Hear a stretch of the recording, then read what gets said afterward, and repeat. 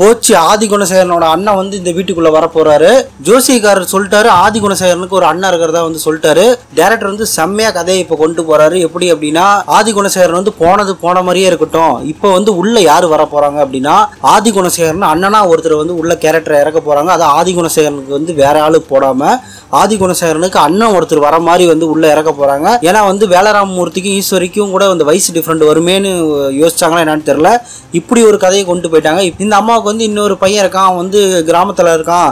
அவனை வந்து போய் கூப்பிட்டு வரலாம் அப்படின்னு சொல்லிட்டு போய் சொன்ன உடனே தம்பி தொலைஞ்சு போயிட்டானா நான் வரேன் அப்படின்னு சொல்லி தேடி பார்ப்பாங்க. கிடைக்காதவும் சரி நான் இந்த வீட்டிலேருந்து நான் ஆட்சி பண்ணுறேன்னு சொல்லி திரும்ப குணசேகரனோட நூறு மடங்கு வந்து அந்த வீட்டை ஆட்சி செய்கிறவராக வந்து ஒருத்தர் இறக்க போகிறாங்கன்னு நினைக்கிறேன். ஏ என்னடா இது? இது ஆதி குணசேகரனே பரவாயில்றா அப்படின்னு அந்த பெண்கள்லாம் நினைக்கிற அளவுக்கு நீங்கள் தானே என் தம்பியை வந்து துரத்தி விட்டீங்க.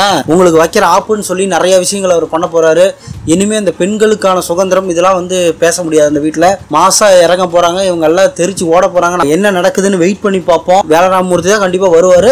இல்லைன்னா வந்து வேற ஏதோ ஒரு கேரக்டர் இப்போ உள்ள கொண்டு வர போறாங்க. எப்படிலாம் டேரக்டர் கொண்டு போறாரு பாருங்க. பரவாயில்ல நல்ல விறுவிறுப்பாக கொண்டு போயிட்டு இருக்காங்க எதிர்நீச்சல் சீரியல வெயிட் பண்ணி பார்ப்போம் என்ன மாதிரிலாம் வந்து ட்விஸ்ட் கொண்டு வர போறாங்கன்னு.